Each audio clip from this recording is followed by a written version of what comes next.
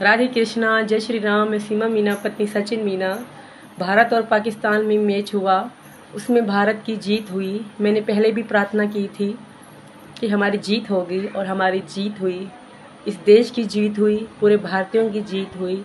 इसकी बधाई सबसे पहले मैंने अपने प्यारे भाई डॉक्टर ए पी सिंह को दी फ़ोन करके, क्योंकि वो बिज़ी रहते हैं, इसलिए हमने फ़ोन करके उनको बधाई दी।